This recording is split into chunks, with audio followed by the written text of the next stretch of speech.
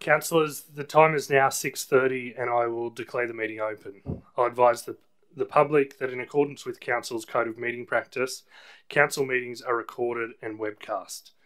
The entire chamber is included in the audio recordings and visitors in the gallery may have their voice captured and webcast.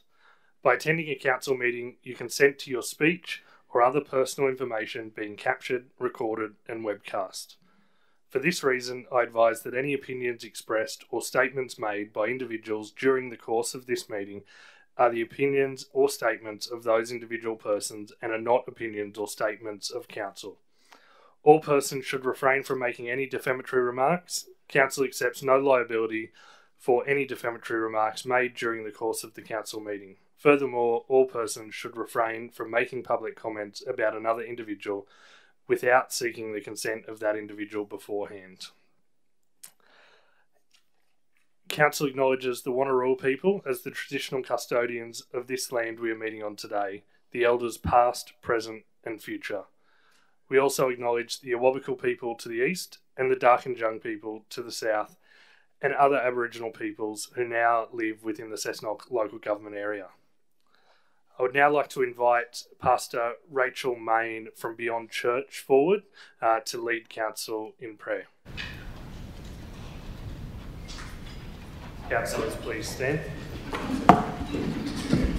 Good evening. Thank you, Mayor, councillors, and everybody. It's a great honour to be invited to pray tonight. And I thought that since I still memorise the council prayer from my eight and a half years around the table, I might bring a bit of fresh content tonight from the heart. So if you're participating, let's pray. God, I thank you for this beautiful place that we get to call home. I thank you for the people who have devoted their energies themselves to serving our city through their work and through the democratic process. God, I pray your blessing on this meeting tonight. I pray that we will treat one another with respect and kindness, even when we disagree. God, I pray for this city to be known for its prosperity and for that to have come from you. I pray for this to be a city that's marked by your favour, by strong families and strong relationships. And last of all, Lord God, I pray a special blessing on those tasked with the work of filling the potholes on Mount View Road. May their investment bring long lasting returns. We thank you that we can bring all of our cares and concerns to you because of what Jesus has accomplished on our behalf. Amen. Amen. Have a great night. Thank you, Pastor Main. Uh, there are no apologies. Uh, are there any leave of absence requests? No requests. Uh, confirmation of the previous minutes uh, uh, of the ordinary meeting held on the 15th of June uh, and also the extraordinary meeting uh, held on the 29th of June. Uh, moving Councillor Sander, seconded Councillor Dunn. Uh, all those in favour? It's unanimous. disclosures of interest.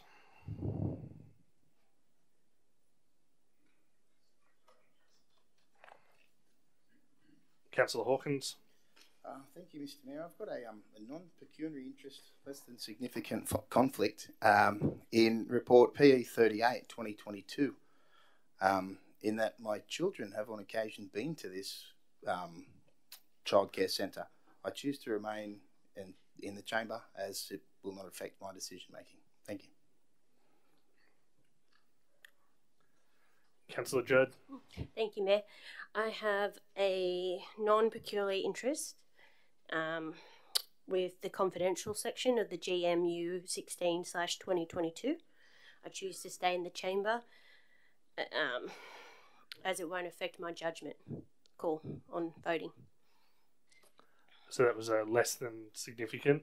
Yes. Mm, Sorry. Henry. Thank you. Councillor Burke. Uh, thank you, Mr. Mayor. I have a conflict in BN 23 2022, the Heritage Tourism. Uh, I declare a non pecuniary interest less than significant for a reason that I own a business uh, that has a contract with the Cessnock Chamber of Commerce. I choose to remain in the chamber as it will not impact my decision making tonight due to the nature of the notice of motion. Thank you. Uh, there are no petitions that I'm aware of. Public address. Uh, first up, uh, I'll call Elena Lawrence uh, speaking against the recommendation on report PE 32, 38 2022.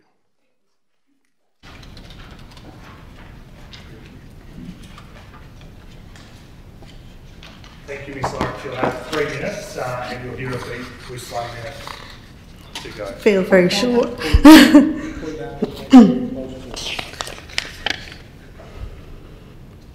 Good evening, Mayor, Councillors and the officers.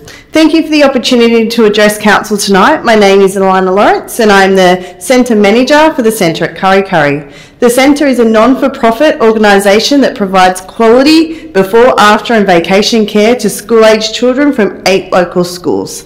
We have been operating out of the ambulance hall at Kurri for the last 22 years. There is a growing need for our service and that is why we need to increase our enrolments and expand our operations. Our service caters for a high number of children that are currently in out-of-home care as well as high number of children with disability and behaviours relating to exposure from domestic violence or neglect. Council officers have identified several issue, issues um, for the DA to be refused. I will briefly address the main issues. A social impact assessment. I met with the former mayor and council officers to discuss the increase in numbers for the centre. The advice received at this meeting and confirmed in an email from council that a social impact assessment slash comment was only required. The comment was prepared in accordance with the requirements of council DCP as the centre is already operating with any, without any negative impact on the community, an assessment is deemed not necessary. Car parking. A traffic impact assessment was presented to Council. The assessment supported the development, saying that the lack of on site car parking area was not a major obstacle. In approving an increase in numbers of an essential community service due to the following timed curbside sorry times curbside parking ensuring a regular turnover and low occupancy rate. Significant curbside parking is available to accommodate demand at peak drop-off times low occupancy rate of curbside parking spaces indicate the high turnover rate and drop-off usage. There has been no previous issues with carers um, using the available street parking along Lang Street Council reports suggest that the proposed development is not in the public interest. The development is a community facility which is utilised by a cross-section of local residents.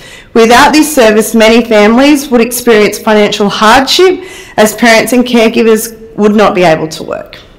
An assessment of the proposal against the requirements of childcare planning guidelines was not provided to Council.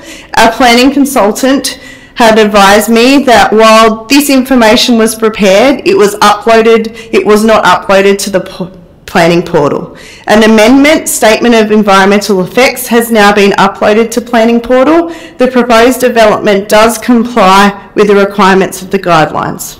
In conclusion, I respectfully seek moved uh, for an extension of time. Councillor Moore, seconded Councillor Hawkins. Uh, all those in favour? Uh, Councillor Jackson, Moores, Dunn, Burke, Grine, Sander, Hill, Hawkins, Painter, Watton, Jurd and Suvaal. Those against, Councillor Olsen, carried. In conclusion, I respectfully seek Council support with the following. Firstly, to have this matter deferred for a month for Council officers to consider the additional information regarding the childcare planning guidelines. Secondly, the Council to accept the social impact comment and not request a social impact assessment. Thirdly, the issue of car parking to be dealt with by Council at the next meeting. Thank you. Thank you. Does anyone have any questions for Councillor Olsen? Yeah, thank you for that. Um, with the childcare centre of yours, it's not kids for arrive at 8 o'clock in the morning, it's over a period of time. Absolutely, yeah. So that the parking is spread around, people are there five, ten minutes. Yeah. So, yeah, uh, that should be, from, and the education department has spoken to you about increasing numbers? Yes, so we um, have to go through a vigorous um, assessment and rating process. Um, there are guidelines in regards to how much indoor and outdoor space each child has to have, and once a DA is approved, we then apply to the Department of Education to then increase our numbers. And with that um, process, they actually come out on site and look to ensure that the facility is fit for purpose, we have all our checks in place. Thank you very much. No worries. Councillor Sander. Thank you, Mr Mayor. Um, thank you, Alana. That was um, a very good presentation. Um, I've got a couple of questions for you. Um, what do you, why do you think the social impact assessment is not necessary? The location of the centre ensures it doesn't have a negative impact upon residential development. The centre is su- surrounded by community and commercial developments. Um, the centre has never received any negative feedback um, from any members of the community, and I'm not aware of any complaints that have been made against the centre. Um, for the numerous requests that we have and the waiting list that we currently have, um, you know, it's and de- demographics. Um, it's really important that we we can get it across the line to support those children. You know, we've got so many children in our area that are at risk. That you know, we get phone calls from DCJ all the time saying we have to remove these children. The carers work we need before and after school care, um, and also a social impact assessment. I'm told is up to a ten thousand dollars, and we're a non for profit. We just can't afford that type of money. And um, what is involved in, in complying with the childcare planning guidelines? So the guidelines basically identify what I've already stated, the ratio um, for indoor outdoor space. So those guidelines have to ensure that we have a certain amount of space. For indoor, it's 3.25 metres square, outdoors 7 metres per child. So, um, who are your clients, basically? You've just spoken about that. Yep, so we provide before, after, and vacation care to eight different feeder schools in Cessnock LGA. Um, we also have two feeder schools from Maitland LGA. Um, we get phone calls all the time from parents that have children with high disabilities um, that other centres are just saying it's all too much for us we can't handle these children and we're really fortunate that you know we are a part of the community centre so we're an ndis provider as well so Yeah. So, that, you know, what positive aspects will that centre bring to? So, positively, um, it's learned through play. It's um, a centre that, you know, it's intentional teaching, it's supporting, it's nourishing, it's giving, it's providing the breakage, um, the links that, you know, that they've, they've gone through. They've seen so much trauma. They've been witness to so many things that it's just unbelievable. So it's there to support and to nourish and to bring them back to a space that they feel comfortable in. And what would happen if the DA was not approved? If the DA isn't approved, it would be really, really sad. Would have families that, you know, they wouldn't be able to work, they wouldn't be able to keep their, their house. Um, it would force children to be at home unsupervised, which puts them high at risk. Thank you. Councillor Moores. Thank you, Councillor. Uh, so- sorry. Uh, well done, speech very good. Thank you. Uh, I had the pleasure of driving past your place yesterday, and I sat out the front there for 10 minutes, to 15, to have a look at what's going on.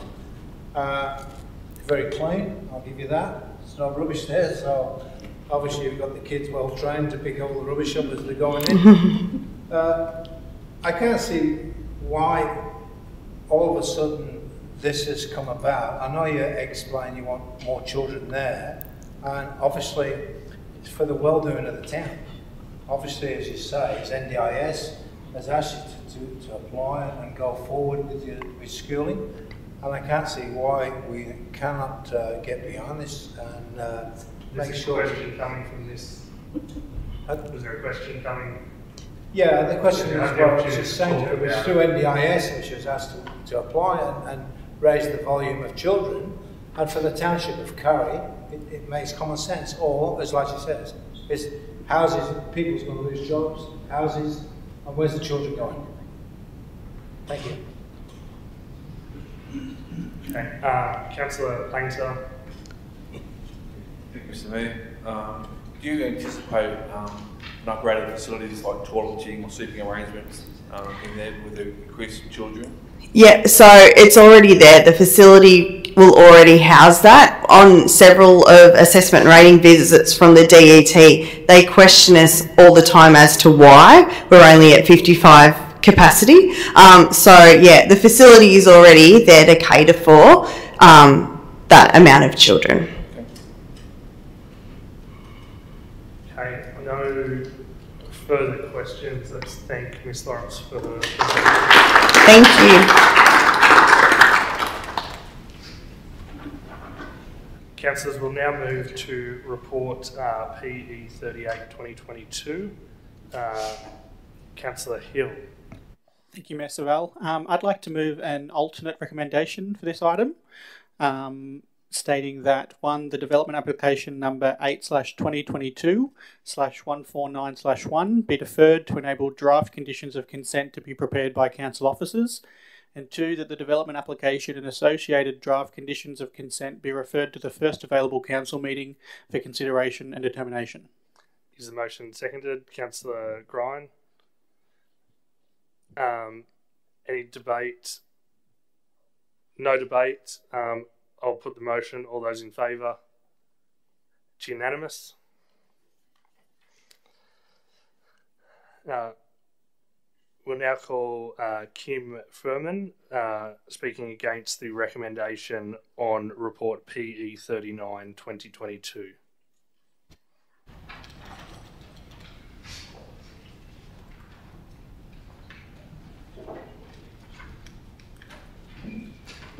Thank you, Ms. Murray. You'll have three minutes with a reminder beat with one minute to go. Okay. Oh, good evening, everyone. I'm a bit nervous, so just bear with me. So, and I think I've spoken to a lot of people so far. I've emailed everybody one way or another. And of course, everyone's read my nine page submission, haven't you? Studied it carefully and looked at the pretty photos. Okay, all right. So, what it is, is we just want to build a home on 30 acres. It originally was farmland. So it was, um, sorry, it was originally sold in 1888, so it dates right back. It's been cleared all that time. It was a sheep farm, it was cattle farm, and my father had it as an orchard. Okay, so it, does everyone remember Mulbring Valley Orchards? Yes. Yeah, so my father died in 2010.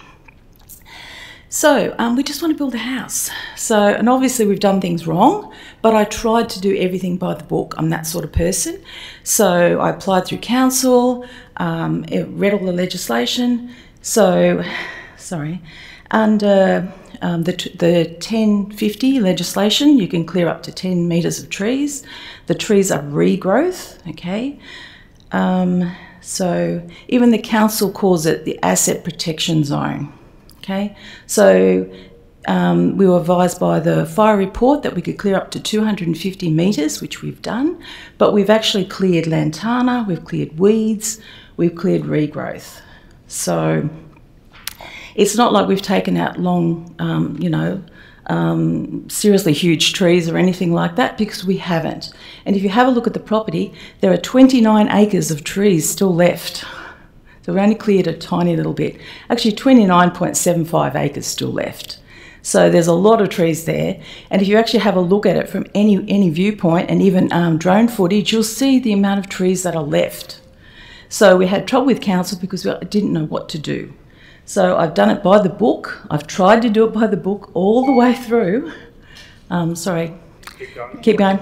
Um, and the council staff seem to not know what to do either. So um, no one could advise me what we did wrong and how to do it. So, okay, so I've done X wrong, that's fine, but tell me how to do it right. Like, where's the rules? Where's the policy? Where's the procedure? And the council staff don't know that either. So, this is a, a problem with with the way the council runs, okay? So that it's not clear on how to do things properly. So, yeah, and if I've done it wrong, yeah, someone should have said, okay, you've done X, this is absolutely the wrong thing do why. Where's the policy? Where's the procedure? So, okay, so for this amount of sophistication, it's not reflected in the council itself. It's not reflected in the roads, it's not reflected in Cessnock at all, okay? So maybe it needs to step up to this level.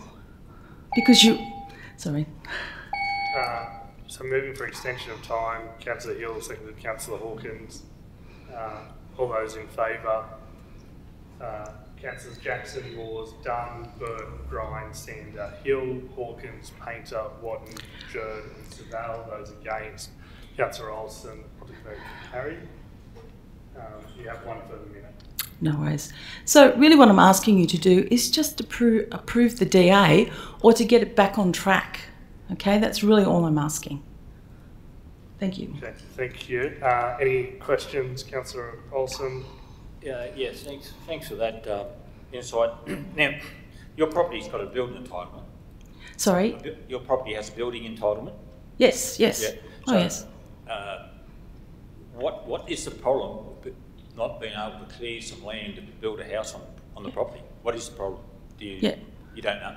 I don't know. I did apply for a, a tree um, a permit, right, which cost $75, but they said it wasn't to do with council, it was to do with local lands.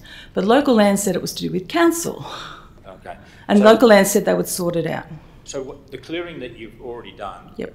is lantana, undergrowth, Regrowth, regrowth. trees. None of the larger trees have been knocked down. So they're all still there. They're all still there. And you, that will allow you enough space to have a house on that property. That's it, and not and not um, be a fire hazard as well. It's the fire hazard that's the problem. Yep. Okay. Thank you. No further questions. Let's thank Ms. Fleming for her. We'll now call report PE 39 2022. Uh, Councillor Hill. Thank you, Mayor Suvaal. I'd like to move an alternate recommendation for this item as well. The uh, amendment reading that development application number 8 slash 2022 slash 21642 slash 1 be deferred to enable draft conditions of consent to be prepared by council officers. Point 2 that the, the development application and associated draft conditions of consent be referred to the first available council meeting for consideration and determination. Seconded Councillor uh, Jackson. Uh, all uh, any debate? No debate. Uh, we'll now put the motion. It's unanimous. Uh, we'll now call uh, Mr. Shane Herring speaking against the recommendation report PE 41 2022.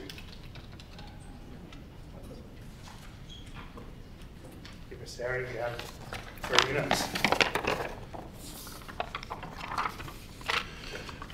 Mr Mayor, councillors, thank you for this opportunity to address council on the matter of planning proposal 18 2021 3 to identify Wills Hill Road, Lovedale as an item of local heritage significance. I've addressed council before on the heritage significance of this roadway and therefore not, and therefore not go over why the roadway is of significance other than to reiterate that it is a unique built and natural environment in the Vineyard area. The roadway has, in previous studies by consultants working for council, been identified as historically significant, and this council now has the opportunity to protect it for future generations. I note that the matter has come with a recommendation from planners that the planning proposal not be proceeded with.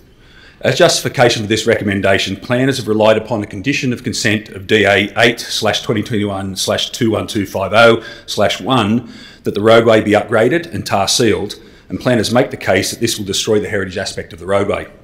A further two DAs are also referenced by planners. One does not require any road upgrades, and the other is erroneously referenced as it was withdrawn by the applicant and is no longer a DA under consideration for approval. So back to the relevant DA, the construction of the Mardu Museum. The construction of the museum is funded by a regional grant and is therefore bound by rules of governance set by the state government. The scope of the grant did not allow for roadworks and associated infrastructure upgrades, and therefore there is likely to be a significant funding shortfall of between 1.5 to $2 million to comply with the DA conditions as approved. There are also issues of ownership of the land on which the project is to be developed. It is my understanding that the ownership of the land, of the subject land, is an issue that may stop the proposed museum proceeding. The current owner is seeking to subdivide from the greater lot a non-compliant parcel of land to give ownership to the grant recipient. This can only happen with a planning proposal, and I would argue that council would, be, would find it hard to support that proposal as it would create a, a significant precedent. Due to the shortfall of funding and the land ownership issues, I believe there is a significant chance that the museum will never proceed in this location. Therefore, the planner's recommendations to not proceed with the heritage listing will be a lost opportunity to protect this important place for current and future residents of the Cessnock LGA. In conclusion, I urge councillors to consider the high likelihood of the museum not proceeding in this location and to resolve at this meeting tonight to, to vote to protect the roadway and to proceed with the planning proposal. My wife and I have spent nearly $20,000 in order to prepare the planning proposal because we and our neighbours believe in the value of this roadway. In previous reports, planners and councillors have agreed with us that this is a significant location that deserves to be protected on behalf of the Cessnock community. And I ask you tonight to keep sight of your previous position of support for this matter and hold fast in your support of the proposal. Thank you. Thank you. Any questions uh, from councillors? Councillor Hill. Thank you, Shane, for the um, talking to us tonight. Um, do you agree that if the uh, with the heritage consideration for Wills Hills Road, were it to be modified to only include, say, the section of road from uh, northbound from the south side of lot number four, so basically where the tree canopy over the road begins, where do you believe it would be suitable for the heritage uh, consideration to be modified to only include the stretch of road from where that begins northward? That, that's actually a compromise position that I have previously discussed with council. I think uh, it, it is fair to say that the, uh, the, the section of roadway from the intersection of Wine Country Drive to the gateway of uh, Lot 4, number 66 Wills Hill Road, is already heavily disturbed. It has been widened and, and totally cleared. And, and, on that basis, if that's something the councillors are prepared to consider, I would certainly find that a, a suitable, uh, a suitable compromise. Excellent. Thank you. Thank you. Thank you. Please thank uh, Mr. Chairman. Councillors will now move on to report PE 41 2022. Councillor Hill. Thank you, Mayor Suvaal. I'd like to move an, an ultimate recommendation for this item as well. Um, that the original recommendation be modified to remove the word not so that it reads that council proceed with planning proposal 18 slash 2021 slash 3 Wills Hills Road and notify the Department of Planning and Environment of its decision. And point two, that the heritage proposal be amended to only include the northern section of Will Hills, Wills Hill Road, starting from the southern boundary of Lot 4, DP 1048155. Seconded, Councillor Dunn. Seconding? Yes. Um, so, uh, any debate on the motion? No debate. We'll now put the motion. All those in favour? It's unanimous. Uh, councillors will now move on to consideration and adoption of all reports by in globo. Uh, Councillor Dunn. Thank you, Mayor Suvaal um, having read and considered the reports in the agenda relating relating to items PE 37 2022 de development application number 8 2021 22 147 1 proposing to rebuild an existing service station and convenience shop PE 40 slash 2022 appointment of external alternate member to the Hunter and Central Coast Regional Planning Panel uh, PE 42, uh, draft amendment to the Cessnock Citywide Infrastructure Contribution Plan. CC 56 um, slash 2022 easement request, uh, being the northern portion of George Winter Park. CC 57 slash 2022 Local Government New South Wales Annual Conference 2022. CC 58 2022 Accounting Treatment for the Rural Fire Service Fleet, CC 59 Investment Report, uh, June 2022, CC 60 2022 Resolutions Tracking Report, WI 45, the New South Wales Severe Weather and Flood Grants, uh, WI 46 2022 ro- uh, Local Roads and Community Infrastructure Grant Funding Approvals, WI 47 2022 the re establishment of Special Event Alcohol Free Zone for the Australian Postie Bike Grand Prix, CO9 2022 Donations to Flood Affected Communities, CO10 uh, Mayoral Minute 10 slash 2022, parking advocacy, advocacy for the amendment to Rule 197 of the Road Rules 2014, CO 11 2022, um, Mayoral Minute uh, 05 slash 2022, support for Hart Road North Ramps Hunter Expressway, that Council adopts the recommendations as printed for those items. So those reports seconded. Councillor Sander. Uh, so moving that way, uh, those in favour? It's unanimous. Uh, we will now move on to uh, report NI 4 2022 Notice of Intention to deal with matters in confidential session. Uh, someone moving that way, Councillor Sander, seconded Councillor Dunn. Uh, all those in favour? Um, sorry. Um, Councillor Olsen. Yeah, Mayor, Mayor Suvaal, I, I'm, I'm a believer that this should be heard in open council. I've looked into the facts, and the Act states that when it should be in confidential session in Section 10A2, A, a personal matters concerning individuals other than councillors. In this report, none, none other are named. In I, alleged contravention of any code of conduct requirements under Section 440. I've looked through Section 440 and I can find none. There are no names of any individuals that are revealed in a report other than mine. My name will be released with the outcome of the vote in the resolution of council. Under Section 440, there are no guidelines which states it cannot be debated in open council. Plus, the guidelines for submitting a code of conduct complaint have been breached, as it states in the code of conduct procedures how, how may a code of conduct complaint about a council official other than the general manager be made? 4.6 all code of conduct complaints other than relating to the general manager are to be made to the general manager in writing. This clause does not operate to prevent a person from making a complaint to an external agency. These two complaints were spoken about by at least four other staff members before being putting in, put into writing a written complaint from the department manager after persons making the alleged complaints stated they did not care if they were submitted. All complaints are supposed to be confidential, but it is common knowledge among staff that these complaints have been made. For these reasons, these issues should be firstly removed from the agenda and or debated in open council. And I would uh, put up an amendment that we don't put this in uh, confidential session, Mayor, on those reasons. Do you need do you want to make comment or do we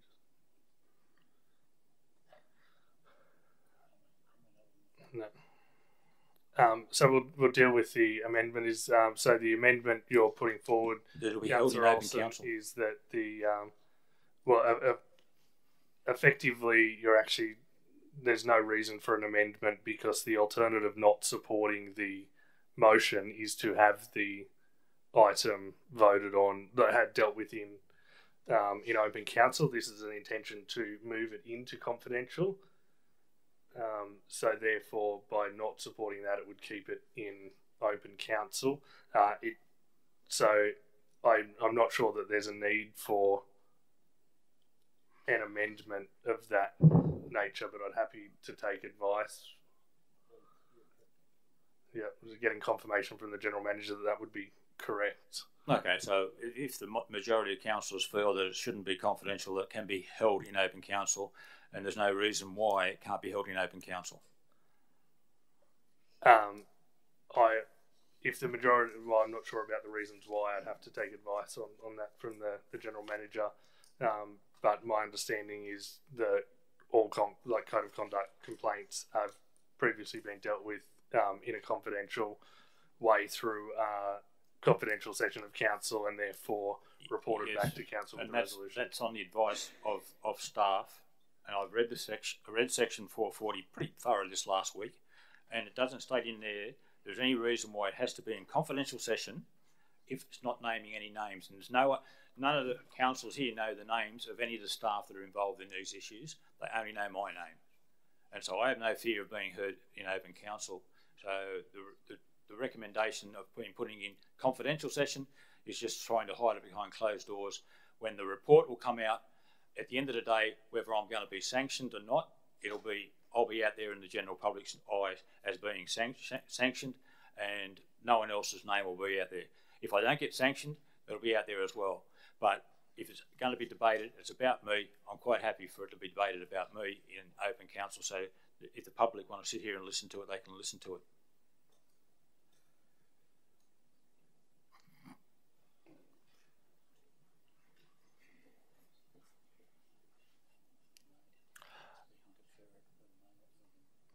Um, we we would have to take um, advice on on the um, from the Office of Local Government on this matter um, to to get some advice on whether it can or um, cannot be dealt with in, in open council.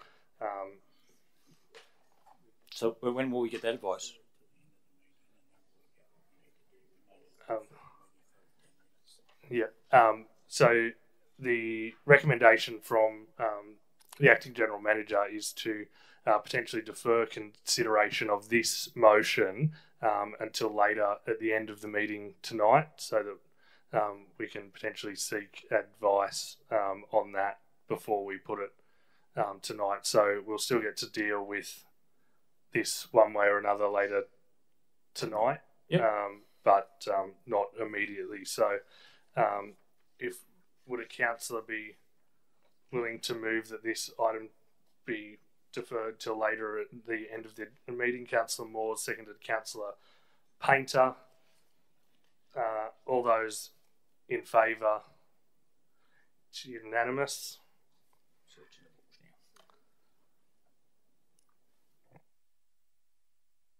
Were you still wishing to speak on? No, you'll speak later on. Okay, uh, we'll now move on to uh, report number MM11 uh, 2022. Uh, so our so I moved this way in, in the in the report um, with the uh, uh, additional points um, in, in dot point two that the council acknowledges the service uh, commitment of staff, uh, council staff, New South Wales SES units, VRA Rescue, New South Wales, the New South Wales Police, Cessnock Leagues Club, and all emergency services uh, for the work in keeping the community safe during this flood event, and uh, and added on the additional point five that council work with the Cessnock Leagues Club to organise a community appreciation uh, event for all the service providers and emergency workers who assisted in the recent flood event. Um, our community has suffered significantly uh, from this flood event. It's the, the second natural disaster declaration we've had in, in four months, uh, and it takes its, its toll um, on not only infrastructure but on the the community members that have had to live through this and what their their properties um, have suffered and and uh, and what the for the volunteers that have been out there and, and all the assistance work that they've provided and the times they've spent away from their their families. Um, most of these are, are, volunteers, so they, they're spending time away from work as, as well to to really step up and, and help our community when it's needed. So uh, I think as council, it's important to acknowledge the the work that they've done um, and thank them for, for that um, and to uh, to to work with the uh, Cessnock Leagues Club, um, who were the evacuation um, centre for for the community.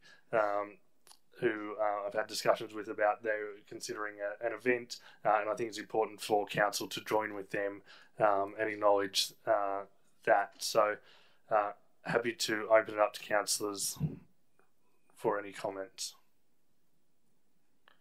No debate. I'll put the motion. All those in favour? It's unanimous. We'll now move on to report number uh, MM12 2022, uh, Testers Hollow on Buchanan Road. Uh, one of the, uh, so I'll move that uh, report as printed. Uh, one of the significant impacts on, on our community has been around uh, infrastructure with, with Testers Hollow um, closed and, and that being our, our main thoroughfare through to Maitland, it has meant that a considerable amount of traffic has gone on to Buchanan Road. uh, which has damaged that that service, service, the surface of the road uh, quite significantly. Uh, it's also Buchanan Road has over time has grown with the development around the area and the uh, now is the major route to the new Maitland Hospital for residents coming from the Cessnock um, LGA areas of Cessnock and, um, and Kurri side. Uh, it's people would mostly travel along Buchanan Road to, to get there. So um, I think the road needs to be considered as a state road.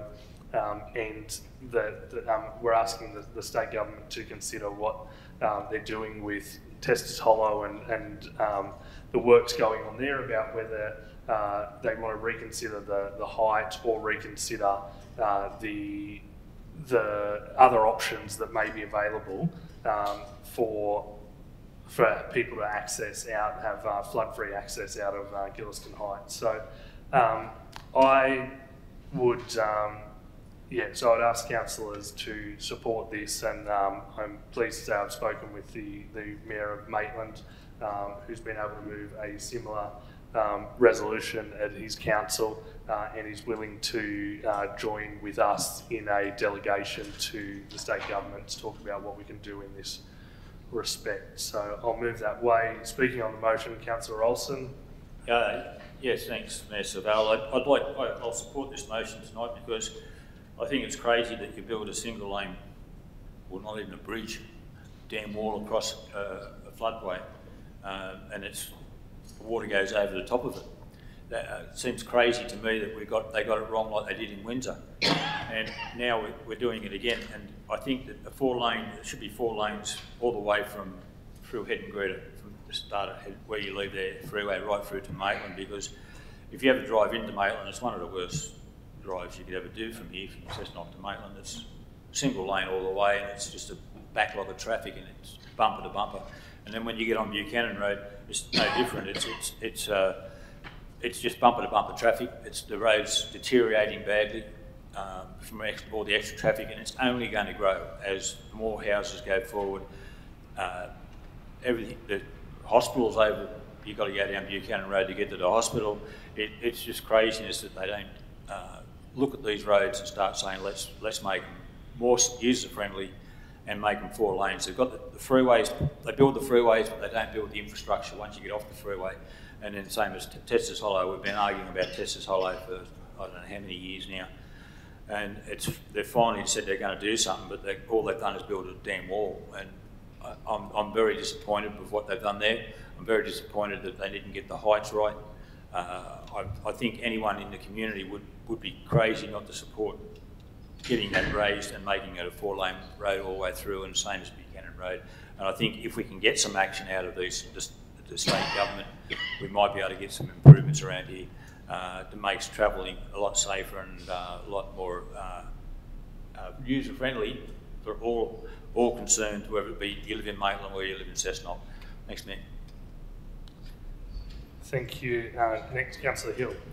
Thank you, Mayor. Um, I will also like, to voice my support for this um, mayoral minute tonight. I, as as a member of a resident of Heddon Greta, I have watched on as the, the new road is being built there across Testers Hollow, and, and I don't think you could find a single resident from the Hunter Expressway to Testers Hollow that, that wouldn't wouldn't agree that they didn't believe it was high enough um, the whole time the construction is happening, and that's just now being proven by the recent flood. So. Um, I believe that a, a representation down to the minister um, for these these issues and, and others in regards to roads in the region is is needed.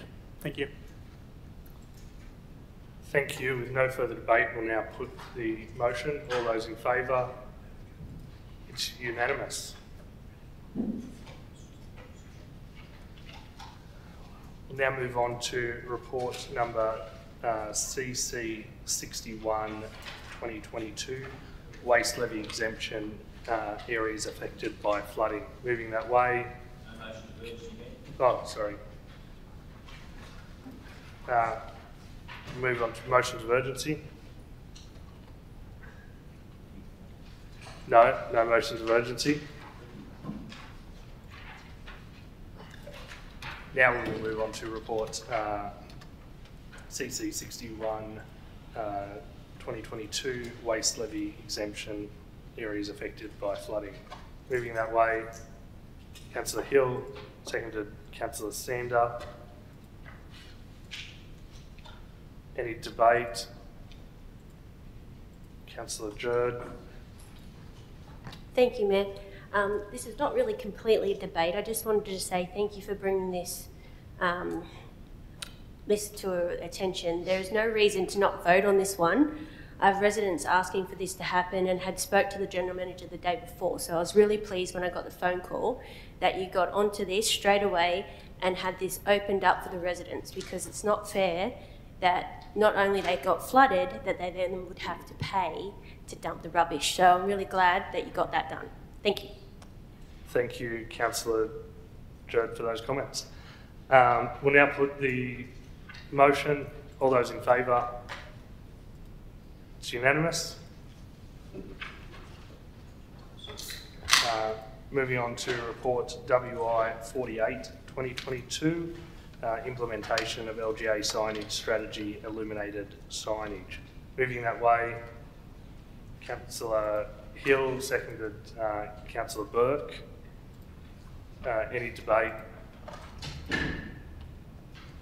This one? No, no debate. We'll put the motion. All those in favour? It's unanimous. Uh, no, unanimous. Yep. Uh, moving on to report WI 49 2022 bus shelter advertising. Moving that way, uh, with Councillor Grine, second Councillor Hill. Uh, any debate on this one? No debate. Uh, we'll put that motion. All those in favour? It's unanimous. Uh, we'll now move on to report BN 21 2022, uh, addressing homelessness and basic services for the needy in Cessnock LGA. Uh, call Councillor Painter.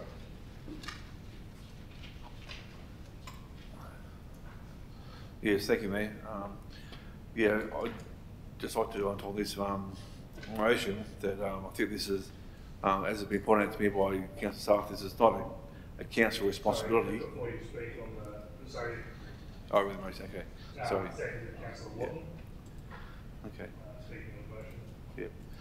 The council writes to the Minister for Families and Communities Disability Services, the Honourable Natasha Maclaren-Jones, MLC, and State Member for Cessnock, Mr Clayton Barr, advocating for the state government to invest in provision of laundry and showering service facilities for the homeless within the LGA, um, Cessnock LGA, initially on a trial basis in an appropriate location. Okay, uh, speaking next, Councillor, were you speaking further? No, No, no. good. Sorry, speaking next is uh, Councillor Olsen. Yeah, uh, thanks, Ned.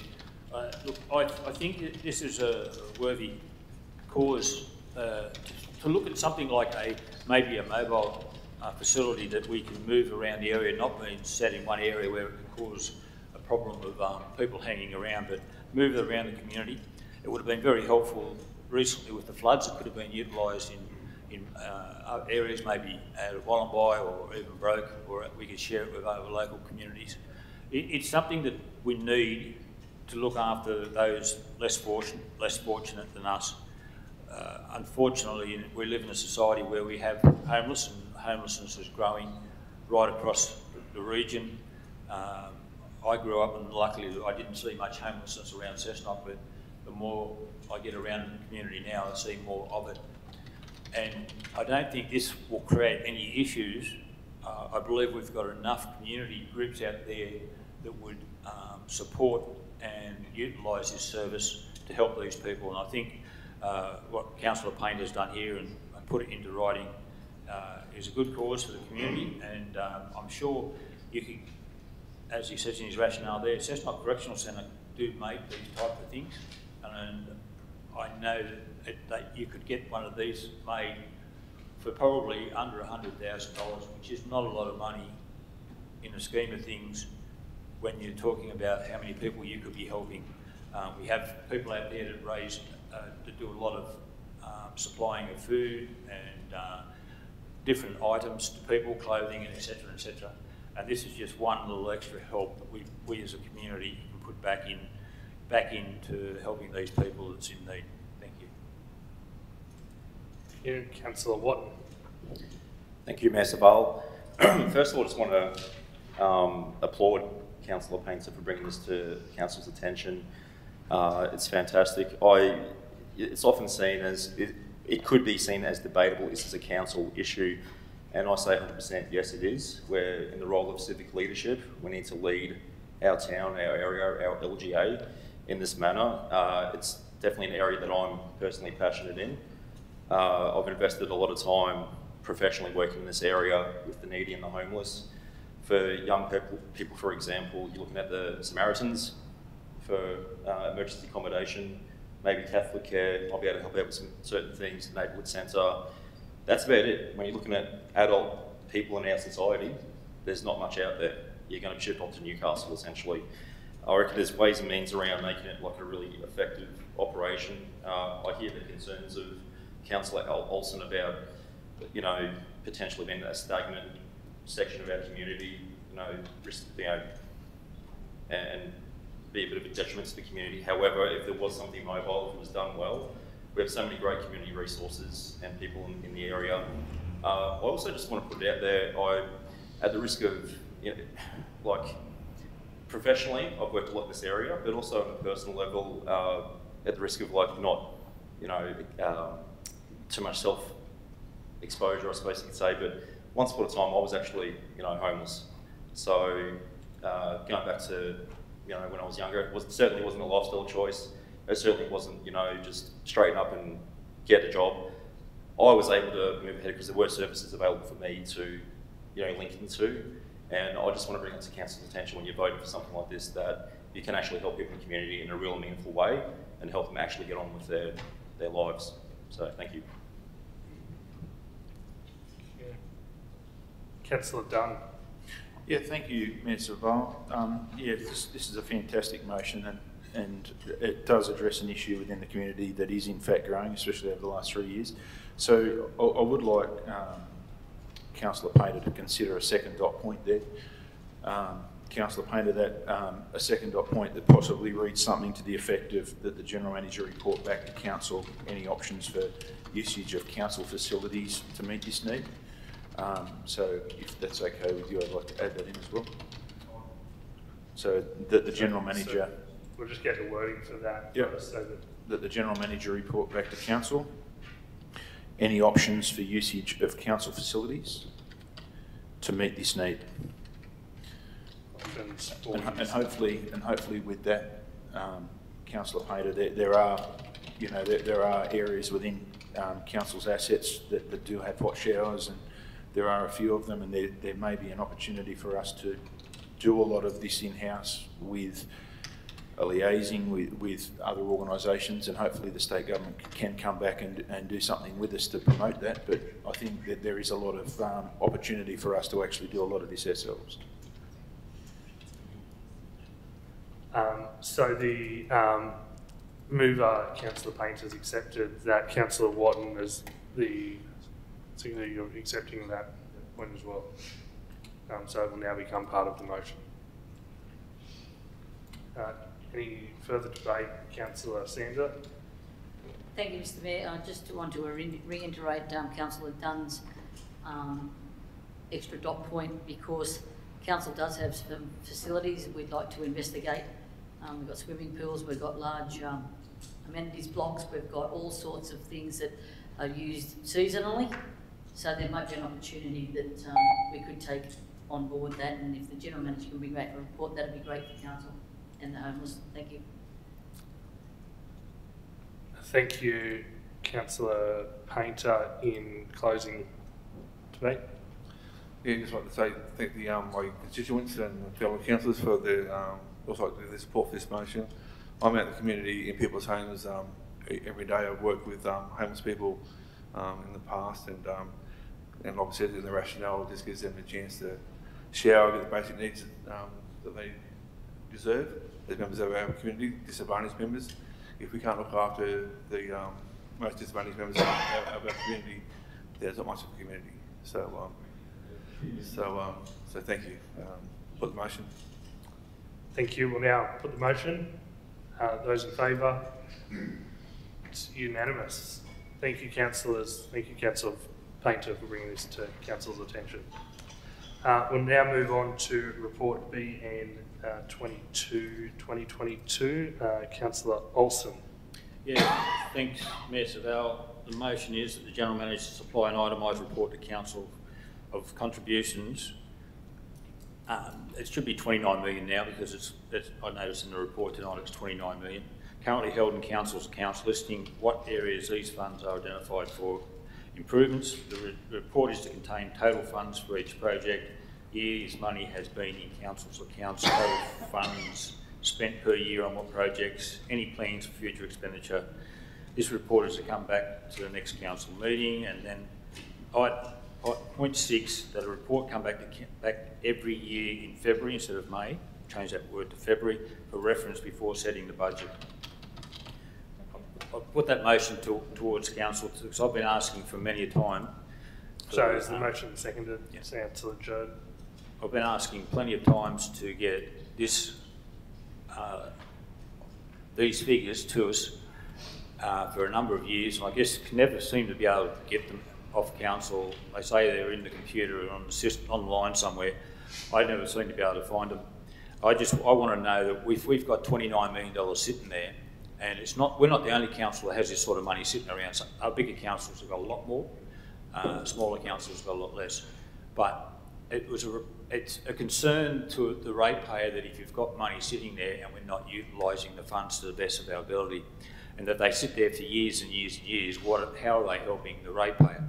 So I need to know, and I think every councillor should need to know, how much we have sitting in there, for what items they are listed for, whether it be for pools or libraries or whatever, or for roads or drainage, whatever it is for, and what area the location is for. Because we can look at that report and say, well, look, there's a million dollars sitting there. All we need to do is put another 500,000 to it, and we can, we can achieve this. We can get it done. It's only going to cost us 500,000, not 1.5. We get things done. We can utilise this money for what it's been put in for.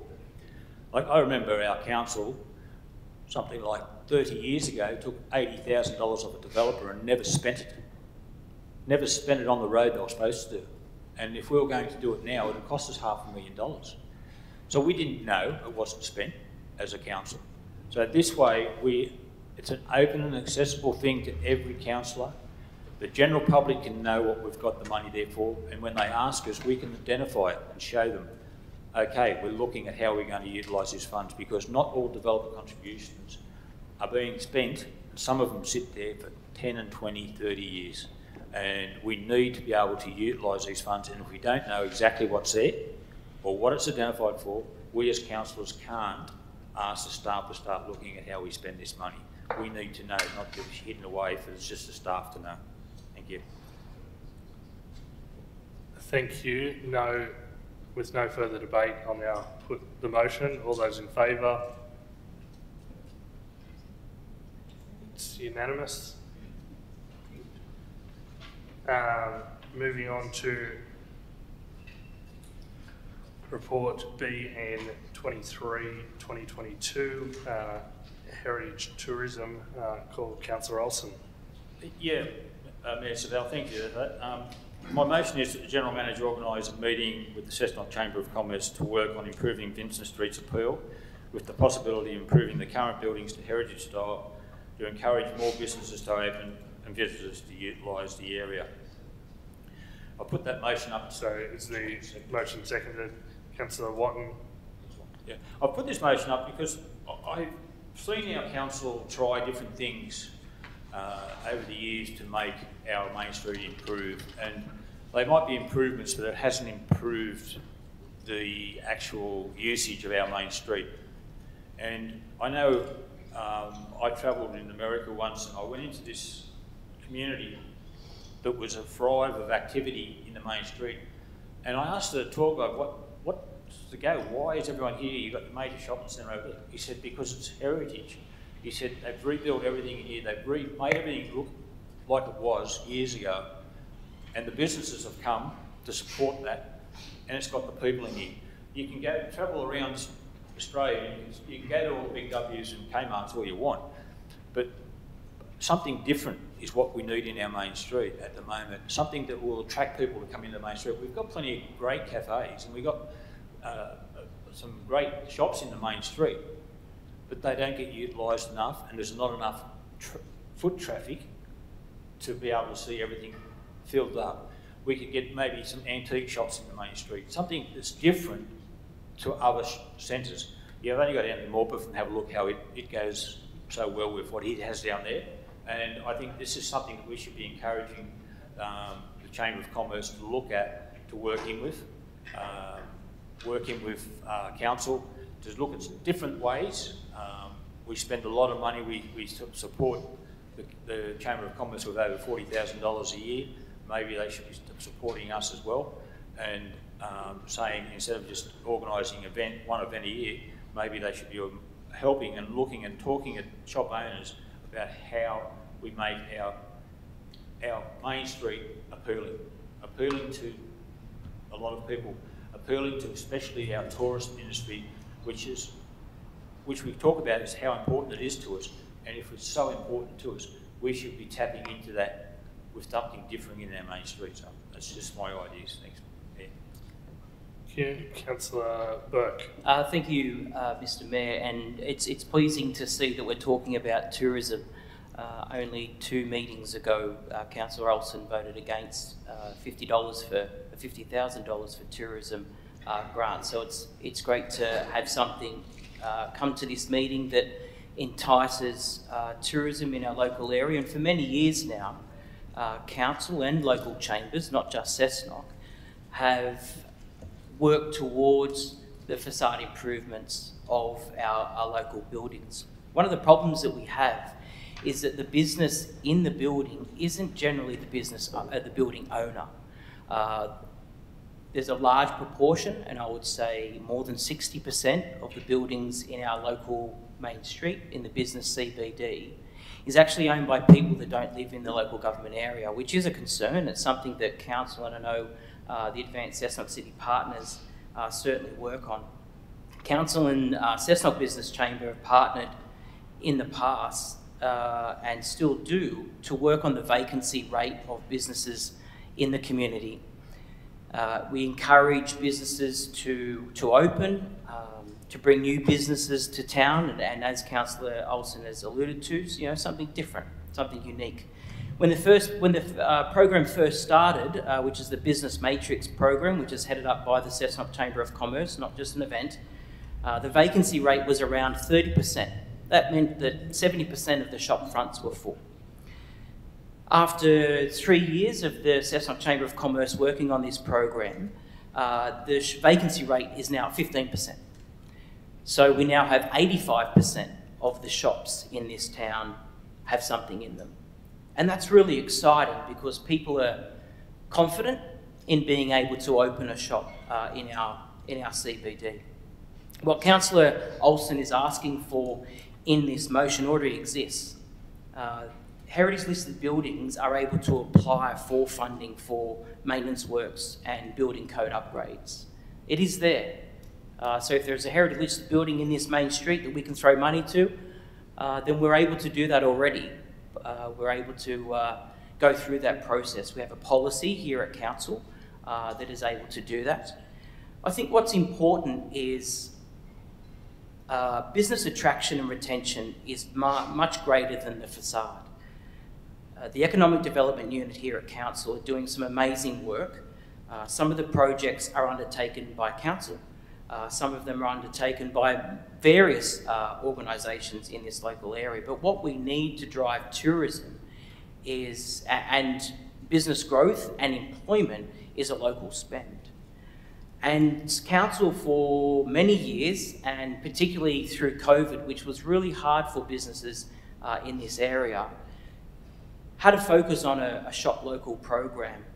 Uh, and this certainly uh, did see an increase. Uh, having someone like me, I, I, do speak to businesses on a daily basis. And the programs that council are currently doing from the Economic Development Unit are working. Uh, they are seeing uh, more foot traffic, they are seeing more locals come in rather than going to the big shopping centres at Charlestown or Green Hills. We are seeing more locals uh, spend more locally, but that's not because of what the buildings look like or that there's a big art sculpture in the main street. That's because of the work council and all of the local chambers are doing in the region on multiple projects. All of the local chambers of commerce work collaboratively with council under the Advanced Cessnock City Partners. I think that this motion tonight is a little bit horse before the cart, or the cart before the horse. I think there needs to be a report come back to council about the availability of funding that's already existent. Uh, and I think that we need to have an understanding of what programs are currently available uh, that already have dollar amounts sitting next to them uh, for heritage uh, listed buildings, which will help uh, for tourism. Then once that's established, uh, council would be able to organise those meetings, and there's no problem with those meetings. I think they're fantastic.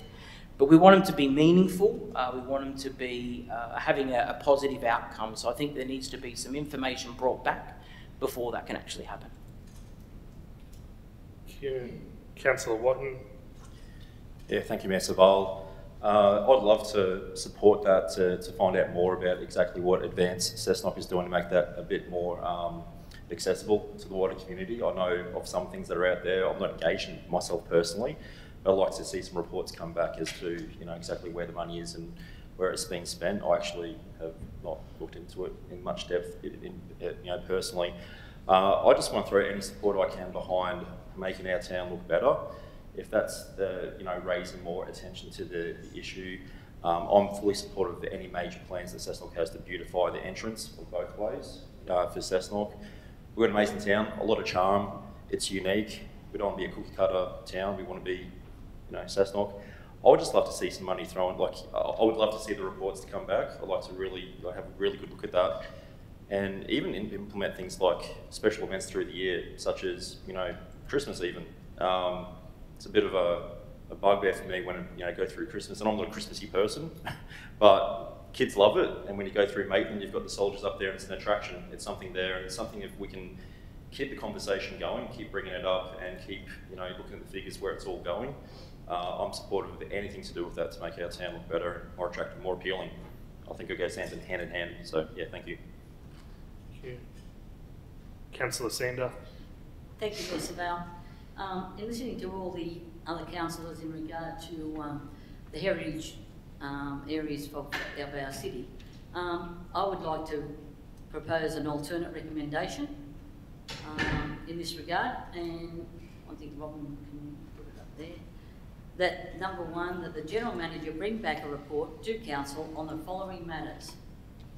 That the current heritage funding available for facade improvement, what has the take-up of business of seen of businesses for such funding, how do Council currently promote this funding to the business chamber and the community, and what policies and procedures are currently in place relating to the heritage of business facades, what other funding may be available to encourage facade improvement in our city.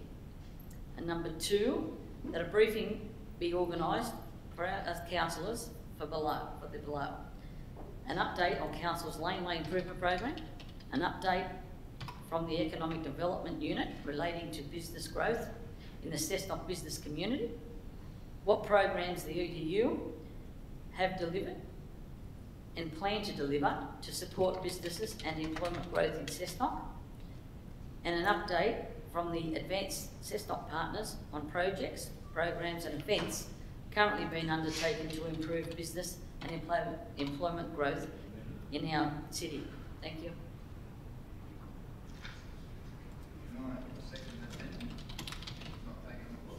Uh, yeah, so happy to second Councillor um, Hawkins.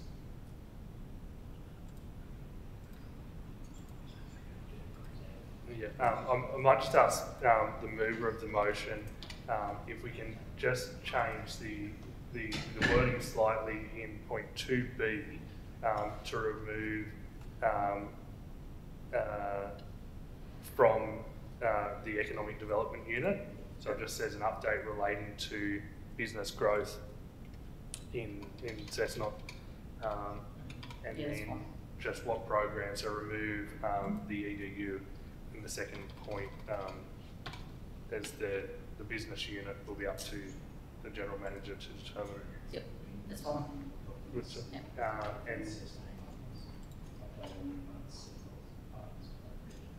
um, and update on um, so point C um, an update uh, so removed from the advanced Cessnock partners um, on project. Yep. Yep, thank you. Uh, comfortable with that mover and seconder of the amendment. Yeah, been delivered, Um, been delivered. To be. What programs have been delivered?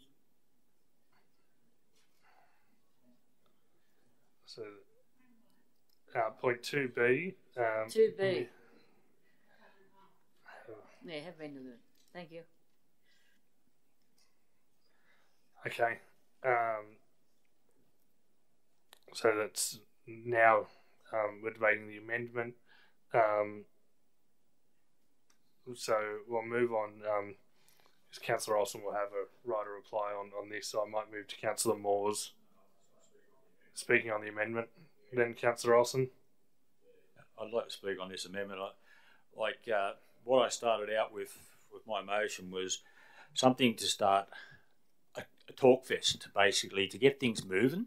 Um, we have a town coordinator that gets paid forty something thousand dollars a year by our council, and and uh, I very see, very little being happening with that, but um, and I see very little foot traffic in the main street. So this was about my motion was about getting getting talks started and interested in doing something different for the main street. This here's just gone bigger than Ben Hur.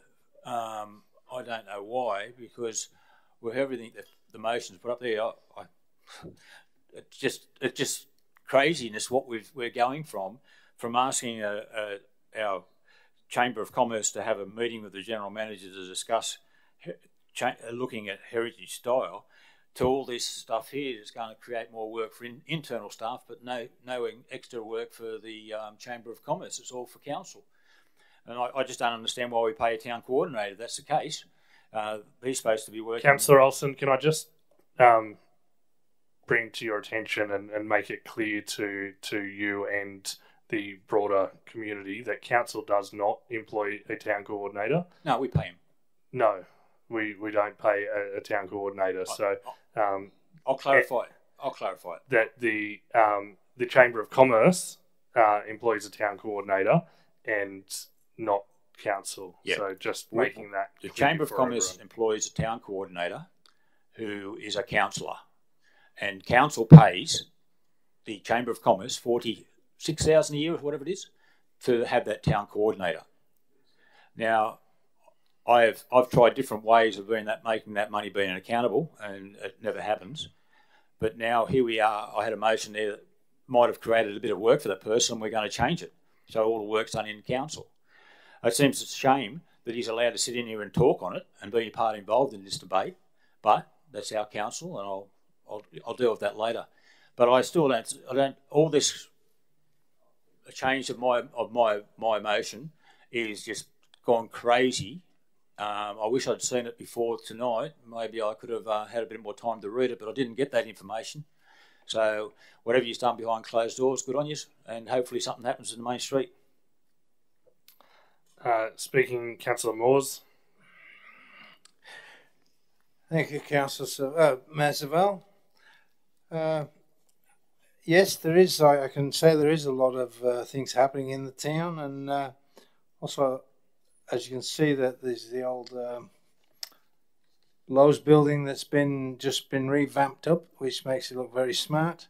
I can't see why we can't put some sort of an award on for a shop appraisals. Who's taking interest in the shop? It's understandable unless they're owners of the shop well, they're not going to do anything to it because they're paying enough rent without starting going outside painting. But before I think we should start be throwing stones, we should be looking at ourselves because of the gateway to the vineyard next to the Performing Arts Centre, which we just had a big grant given to us, is a, one of the most derelict buildings in Vincent Street, which has got no gutter on it. It's got tin flapping around on the side of the roof, and it's a disgrace. So we should be looking at ourselves as well. Thank you. Councillor Burke. Uh, thank you, uh, Mr. Mayor. I think uh, with Council, what Councillor Watton has said is is a great uh, pickup in the previous debate was around uh, you know things happening. Although he may not like Christmas time, um, having uh, window displays. you know the local local chambers do those types of things. So I think it's maybe getting back to some of the basics, and I think that having these reports and briefings will allow us to have an understanding of what activities are already currently being undertaken. Uh, this council has invested heavily in uh, the Laneways project. Uh, I know that some of the local chambers have uh, done some of the laneways, but so is this council. So it would be good to know where that improvement program's up to because that's pretty much what Councillor Olsen's asking for is for things to happen in the main street that attract visitors uh, that support our tourism economy. So the laneways are a great way of doing that. Um, I know that uh, it was funding dependent, uh, but I think having a briefing on the laneway improvement program will allow us to have an understanding of what needs to happen to progress that a little bit more. And I also think that we need to progress the green space. The big master plan that we have down in Cooper Street that allows us to have a space where we can have buskers and night markets and those types of things. And I know that uh, there aren't too many people that are happy with uh, what's currently sitting in Cooper Street, and I agree with it. Though the grand plan or the, the plan that we have on books at the moment is to have that into an amazing green space that allows our community and visitors to come together, that allows us to grow uh, not only with our, within our community, but also uh, businesses. Uh, allows us to grow through tourism. So if we're going to do anything, let's talk to the local chambers of commerce about that. How we can have a direct influence on business growth because heritage tourism uh, is just a small aspect of it where we've already got things happening. And I think if we can talk to uh, key stakeholders about those types of things, we'll see a much more positive outcome. Thank you. Uh, we'll now put the amendment. So, uh, those in favour of the amendment,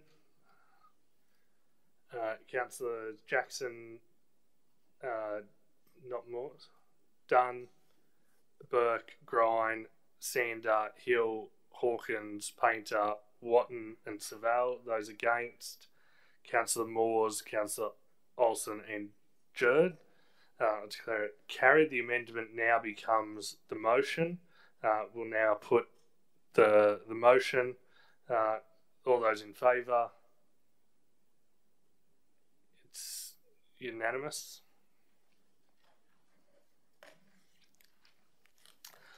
Okay, councillors will now uh, return to uh, report NI for 2022, uh, the deferred notice of intention to deal with matters uh, in confidential session. Uh, I will call the general manager. Um, thank you, Mayor Suvaal. Um, in the research in the interim period, um, I would refer councillors to clause 7 0.47 of the Model Code of Conduct, sorry, the Model Procedures for Handling Matters under the Code of Conduct, which is based upon the um, model as put out by the Office of Local Government, which Council has adopted. And Clause 4.7 states the Council is to close the meeting to the public to consider the final investigation report in cases where it is permitted to do so under Section 10A of the Local Government Act 1993. The Local Government Act 1993, Section 10A, deals with which parts of a meeting can be closed to the public. Part 1 states a council or a committee of council, of which all members are councillors, may close the public the meeting to so much of the sorry may close to, to the public so much of the meeting as it comprises the discussion of any matters listed in subclause 2 or the receipt of or discussion of any information so listed. Subpoint 2, so this is 10A 2, part set is the matters and information are the following and lists a number of items.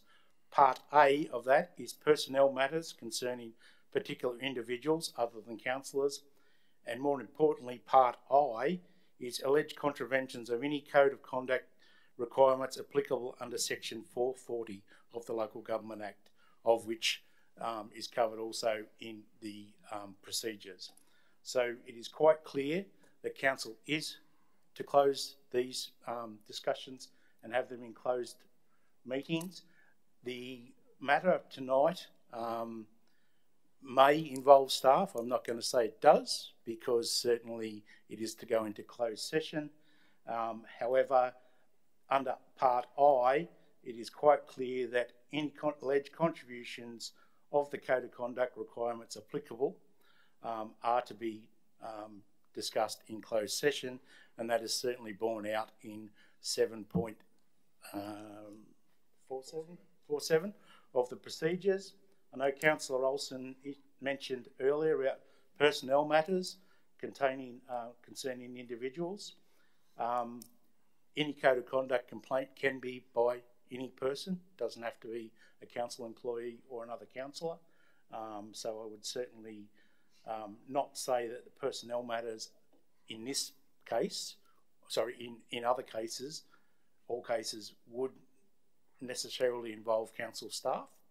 Um, Councillor Olsen has stated that they do, and in that case, um, that would certainly mean that Part A, subsection A of 2, would also come into play. So it is quite clear from the reading of all that that you should be considering this matter in closed session, particularly if you're going to have um, conversations around the items in that final report, and then certainly whatever the decision of council is um, when you come back into the open forum would be a public document. But until that point in time, um, it is my understanding and belief that everything should be confidential, and that is certainly something that is um, mentioned throughout the Code of Conduct procedures.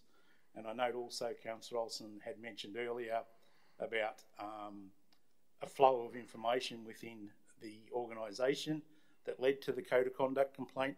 The Code of Conduct complaint that was um, made to and accepted by the General Manager at the time is the one that is actually being referenced in this final determination. So. Uh, question, Councillor Olsen. It's it's um, there's no other names in this report visible to anyone. They've all been blacked out. If they're not, if they're, if then if they're going to be blacked out, but not mine isn't, why can't it be in open session? It only says pers says personal matters concerning individuals other than councils. None are named. So why can't that be an open session? Uh, it was also the second uh, point that the general manager. Yeah. So can we tell me under uh, section 440 what is what where it says in section alleged intervention of any code of conduct requirements under section 440? Yes. What are in the se section 440 says it has to be in confidential session. So I, I think, um, general manager, want to provide more comment? Thank you. Um, the reference to section 440 is talking about code of conduct complaints, how they're made and, and the like under the Act. They are certainly dealt with in relation to the model code of conduct and certainly the model procedures. So the reference that you're, you're having there in part 10A is in reference to complaints made under this section. So that's what it's brought. That's why it's brought back as saying we should be in confidential so session. We're we're not here to debate the the general manager's uh, advice, but uh, the advice I think has been clear that this should be dealt with in confidential uh, session under the Code of Conduct procedures. I'll, I'll, move a motion of dissent in that ruling. Well, there's there's nothing to move a, a motion of dissent in. It's not a ruling. It's a.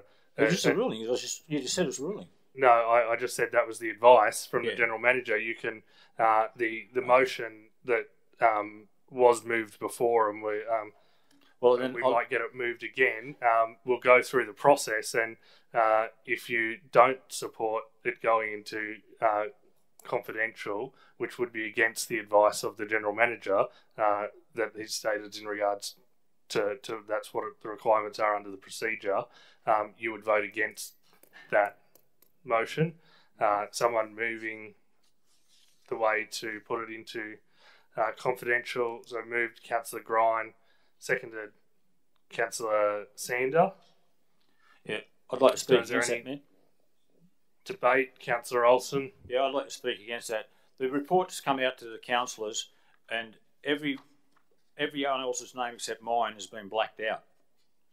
So the only person that's affected by this report is myself.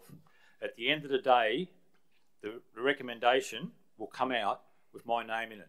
There is no need for it to be hidden away in closed session because I'm not scared of being in open council. There's no other person named in this report that anyone can identify to, and it should be debated in open council. If people have got a problem with what I say and do, they should be they should be at least able to stand up and be made held accountable. To hide behind closed doors is just making it so easy for people to, to come in here and say I'm a bad person and then put it out there. When yet when you read the report and if you read the whole report, you'll find how many lies are in it. And I'm very disappointed if it goes into confidential session. Uh, Councillor Burke. Uh, thank you, Mr. Mayor. Can I just get a clarification via the General Manager that what you've just mentioned, point I, isn't got hasn't got anything to do with the person, the names, the personnel. Point I is directly related to council dealing with the final report of a code of conduct, and that's why it goes into a confidential session. The General Manager. Um, thank you, Mayor Suvaal. Um, yes, that was my point exactly, Councillor Burke. You probably said it a little bit more eloquently than I did. Thank you, uh, General Manager. Mr. Mayor, that's why it needs to go into a confidential session. Uh, if it was in an open session, then we would discuss it in an open session. But if this council was to vote against us going into a confidential session, then we would be in breach of the Code of Meeting Practice of the uh, Office of Local Government. So if we were to vote against this, this has got nothing, absolutely nothing, to do with the names in the report, names blacked out in the report. The reason that I would be voting uh, for this motion before me is because point I tells me that uh, uh, a final report of a code of conduct has to be not behind closed doors, has to be in a confidential session so this council can then uh, discuss it. And that's the way I'll be voting tonight. Thank you, Councillor Burke. Uh, with no further debate, I'll now put the motion uh, on uh, report number NI for 2022. Uh, those in favour, uh, Councillor Jackson, Dunn, uh, Burke, Grine, Sander, Hill, Hawkins, and Suvaal. Those against. Councillor Moores, are you you voting? You, you have to vote. One, so uh, Councillor Moores, uh, Painter, Watton, Olsen, and uh, Jurd. I'll declare the motion carried. Uh, council will uh, have someone uh, move to move us into uh, confidential session. Moved Councillor Burke, seconded Councillor Sander. Uh, all those in favour. Uh,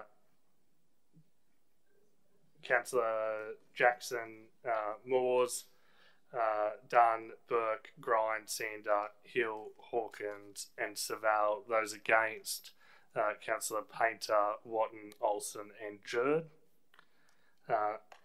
I'll now, we'll now move